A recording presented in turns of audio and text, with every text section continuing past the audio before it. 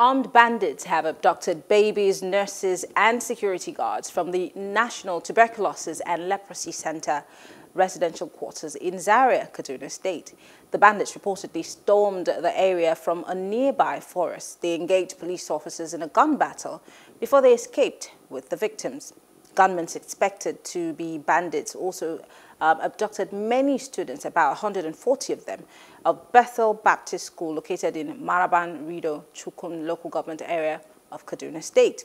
Now, what is going on in Kaduna State? How do we stop it? Well, joining us to discuss this is security expert Bosinde Araikpe and Dr. Ibitrokoemi Korubo. He is a lecturer at the and consultant uh, and endocrinologist at the University of Port Harcourt Teaching Hospital. He's also the past NMA chairman for River State. Thank you very much, gentlemen, for joining us. Thank you for having me. Great. I'm going to start with you, Dr. Korubo. Babies, health workers, I mean, this is the first of its kind. You never really hear about this. You hear about schools um, and, you know, um, either teachers being taken because education seemed to have been a big target of these bandits. And of course, uh, uh, but, but hearing that they've gone to hospitals to take babies and mothers, and I mean, even security guard, uh, does this not worry you as a health practitioner? Because, I mean, that might just be the new angle for these bandits. Thank you for having me it's a big pity that um, the level of insecurity in our country has generated this level. Um, worldwide, in areas where you have conflicts, we've had cases where doctors, nurses, health workers have been abducted and even killed. Uh, so this is really not new. In Nigeria, this has gone on since sometime around um, uh, 2001, 2002. We noticed uh, doctors and nurses being uh, kidnapped. So this is not new, and it is indeed a big problem uh, the community to and our country as a whole. We're very worried, really worried. Now, I, I know that um, for River State, there was also a time where doctors were being kidnapped, you know, over and over again, and you know, it sent, you know, some sort of shockwave across, you know, the state. But now that we're seeing this happen in Kaduna State, who's to say that it would not be the new norm? Because we've seen that the education in that part of the country is being targeted. So students are afraid to go to school. Um, security has to be upped, if not, you know, parents don't want to let their children go to school. But where you're taking care of, you know, sick people and, and of course doctors also and nurses needs their safety. Why do you think that Kaduna State is now a soft target? Let's talk about Kaduna State because they, everything, almost all of the kidnappings, the highest number of kidnappings have taken place in Kaduna State. Why do you think that this is happening over and over in Kaduna State? I'll give you my personal view. Uh, my personal view is that there is lack of cooperation between the government, the security forces, and the community at large. You must understand ensure adequate security, you need community participation. Uh, you need the community to give the security uh, agencies information. And I think that that does not exist. The people do not have trust in the current Kaduna state government, and so they do not give the necessary information that they should.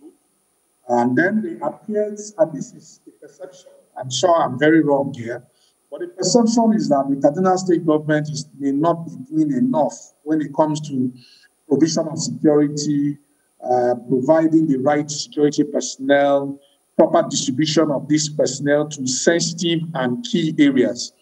And the danger of this is that the Kaduna state government may find itself in a situation where the people start resorting to self-help. And that would be very, very dangerous for uh, the people of Kaduna state. So I think there's a perception problem there. Remember here that these bandits, criminals, or whatever you call them, uh, they are smart. They, once they notice that there is a lacuna, there is a gap, they sneak in and do their thing and sneak out.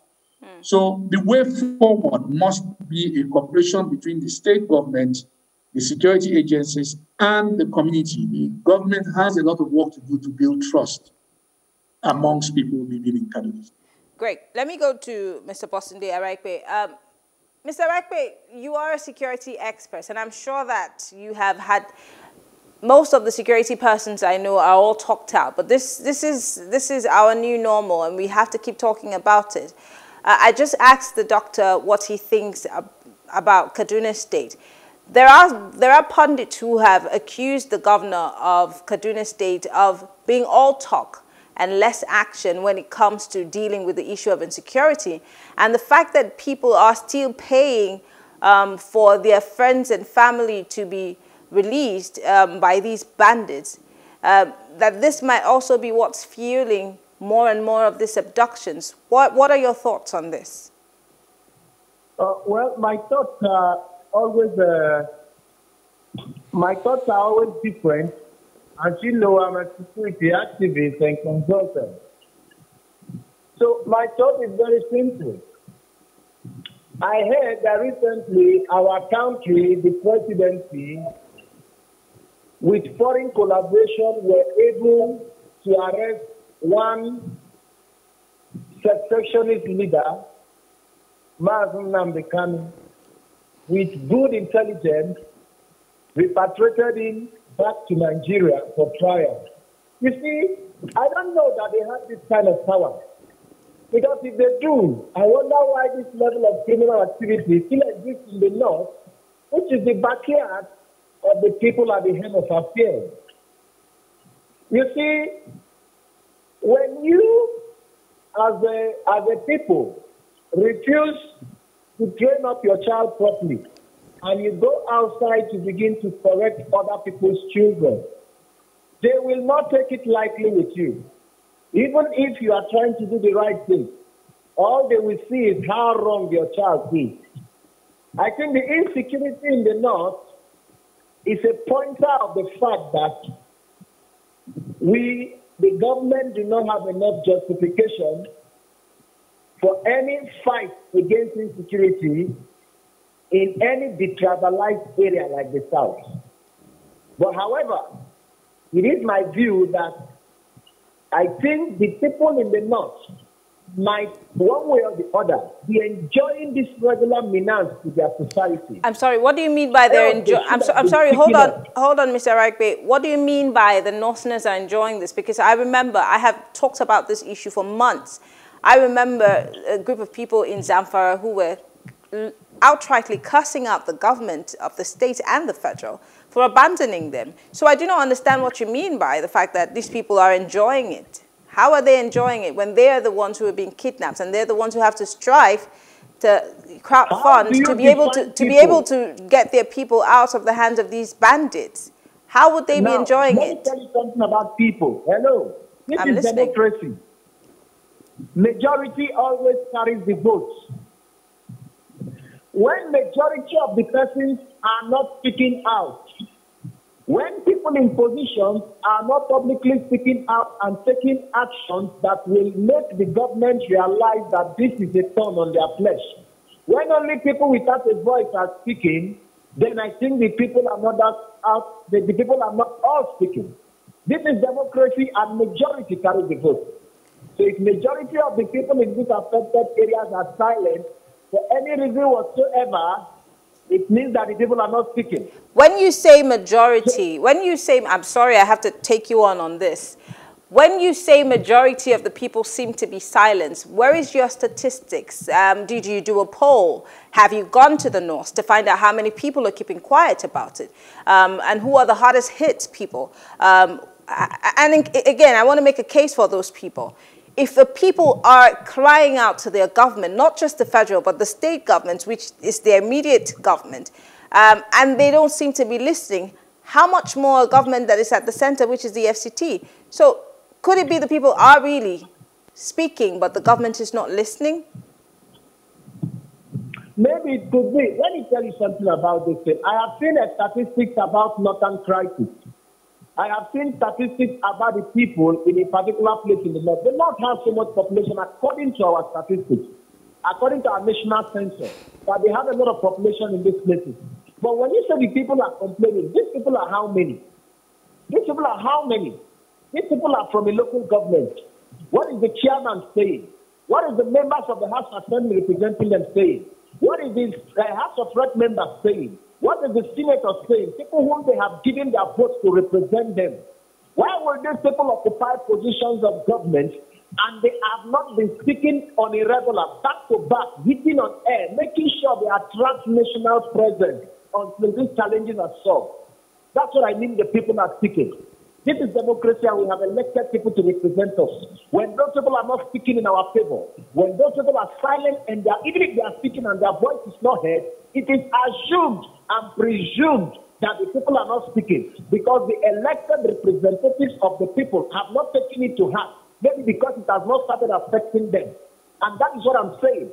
So the people that is affected must do their best to ensure that all elected officers and officials that they have elected, from the least councillor down to the senators, are part of their voice, are part of every move they make.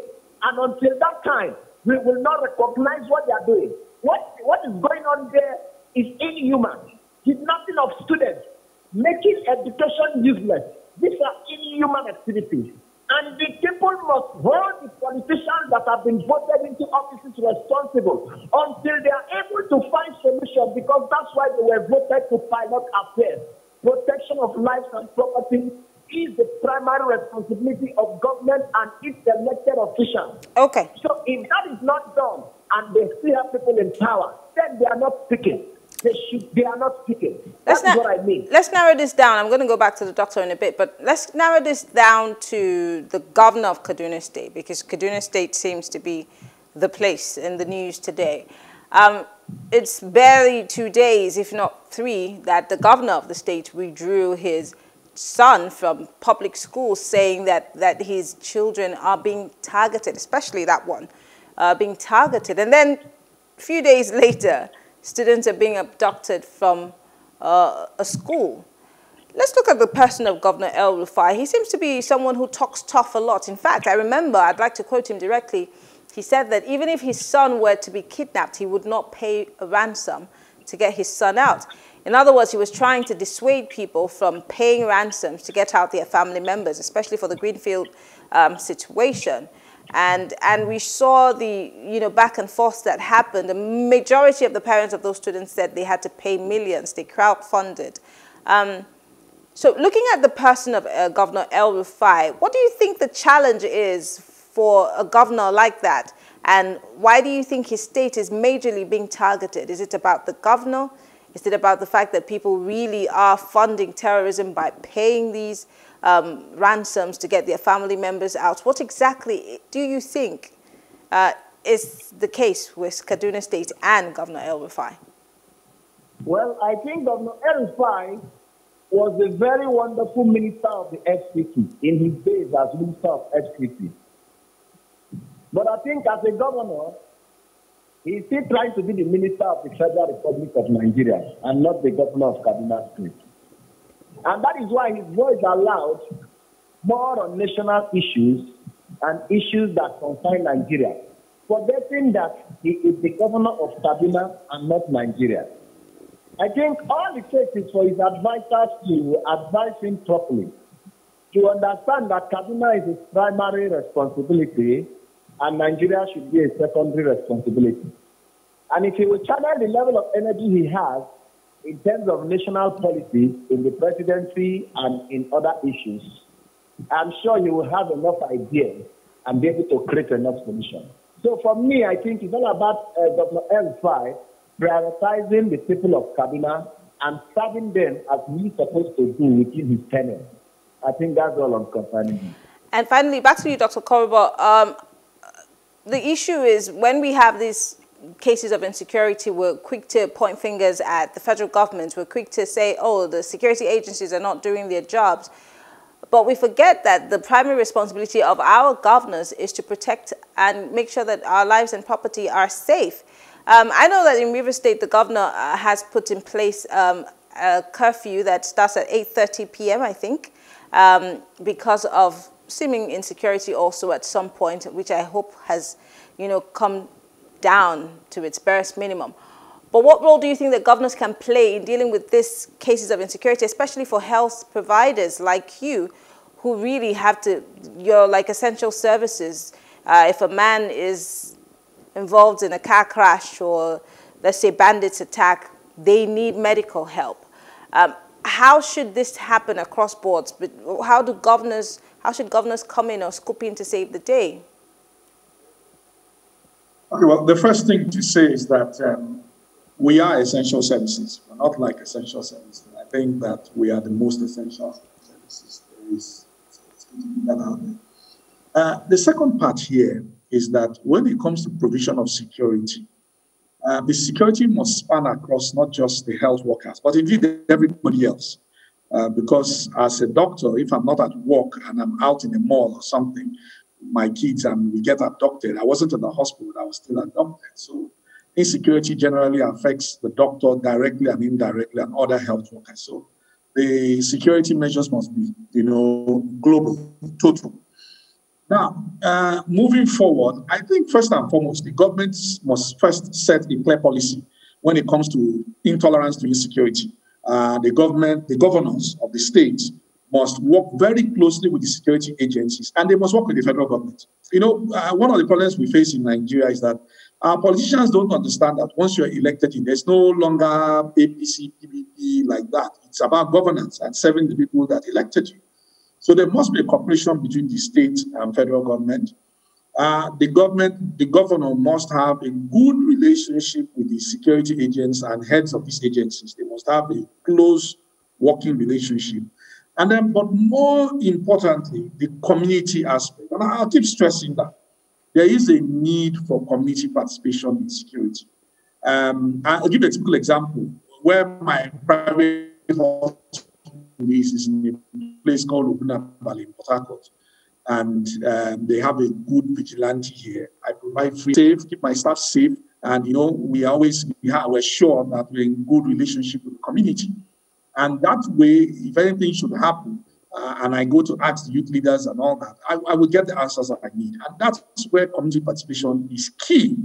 Uh, so a stranger cannot come in to rob a house. He needs to have done some security assessment, you know, some homework.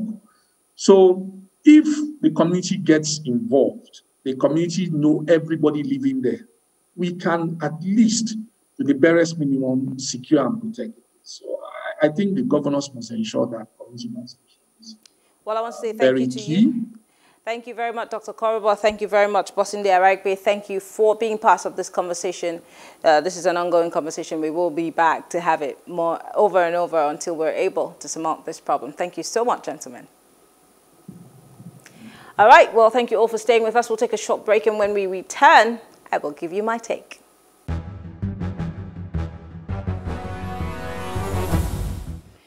Here's my take.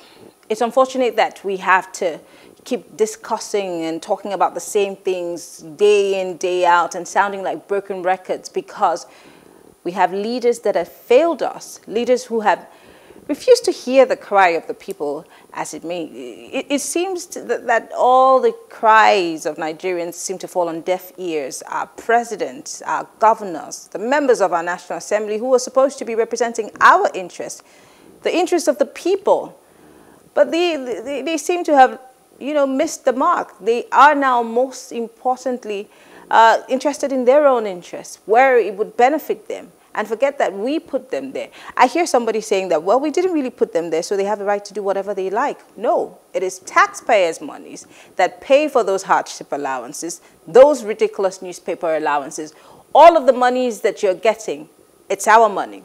And so we have every right to get these so-called leaders to be accountable to us. But then it is also, uh, it, it, behoves on us as Nigerians to not just rest on our oars and say, well, we throw our hands up and say, well, these people, they have the police, they have the army, what can we do?